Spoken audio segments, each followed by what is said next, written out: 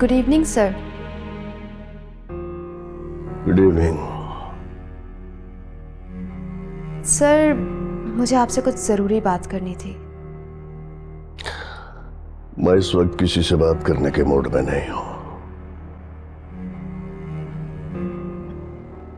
Sir sir मुझे पता चल गया है कि मेरा एक्सीडेंट हुआ नहीं था बल्कि करवाया गया था।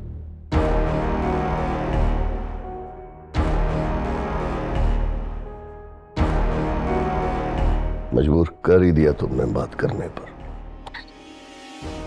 एक्सीडेंट हुआ नहीं था करवाया गया था।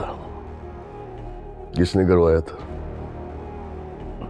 सर यही तो बताने के लिए आई हूँ। आपको आप प्लीज़ मुझे पाँच मिनट दे दीजिए हम इत्मीनान से बात कर लेते हैं। देखो मैं इस वक्त बहुत इरिटेट हूँ। खुद ही बता दो कि वो क्या था। सर ये तो मुझे नहीं मालूम। लेकिन जो भी था वो ये नहीं चाहता कि मैं आपकी या सेवी की कोई भी खिदमत कर सकूँ। आप दोनों के लिए कुछ भी बेहतर चाह सकूँ। ऐसे बहुत सारे लोग हैं जो हमारे मुखलिस कारकुनों को वरगलाना चाहते हैं। किस पे शक करूँ? सर कॉन्ट्रैक्ट बना तो कल मेरा शुबा भी रायला पर चला गया। रायला? वो कैसे हो सकती है? बिल्कुल ठीक कह रहे हैं आप। खैर छोड़ें इस बात को। एक बात है सर कि मैं आपकी सियासत से बहुत इम्प्रेस हुई हूँ। लेकिन सर मेरी एक मजबूरी है। मैं अब आपके या सेवी के किसी काम नहीं आ सकती। क्यों? रायला नहीं चाहती सर।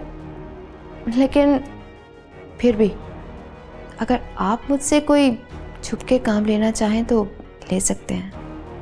बस अपनी बहू से छुपा कर अपनी बहू से छुप कर वो क्यों? क्योंकि सर रायला ने मुझे कॉन्ट्रैक्ट से बाउंड कर दिया है कि मैं आपके लिए या सैबी के लिए कोई काम नहीं करूँगी। वो कौन होती है किसी को हमारे साथ काम करने से मना करने वाली? और सर सिर्फ़ आपके साथ ही नहीं उसने मुझे सबके साथ काम करने से मना किया है। इनफैक्ट उसने तो मुझसे ये भी कहा है कि जॉब छोड़ने के बाद भी मैं किसी और के साथ काम नहीं कर सकती। अब अगर मुझे किसी के साथ काम करना होगा तो ये शहर छोड़ के जाना पड़ेगा। ये क्या कॉन्ट्रैक्ट है? यही बात तो सर मुझे समझ नहीं आ रही। और इसी वजह से मेरा शक रायला पे चला गया था। देखिए मिस शकीला इस वक्त ना मैं कुछ और सोच रहा हूँ। हम इस पर कल बात कर लेंगे। ठीक है सर। अब लेकिन सर रायला से कोई भी बात करने से पहले मुझसे ज़रूर बात कर लीजिएगा क्योंकि बहुत सी ऐसी बातें हैं जो आपको भी बताना बाकी हैं। किससे मैंने क्या पूछना है और क्या नहीं? इसके लिए मुझे आपके मशवरे की ज़रूरत नहीं है।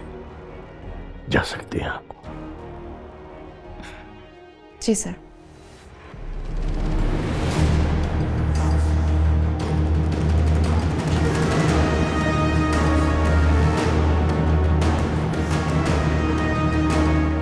शकीला जिस तेज़ी से तुम भाग रही हो, उसमें अंदेशा है कि तुम गिरोगी और तुम्हें चोट लगेगी। जब चोट लगेगी ना तो दर्द भी होगा।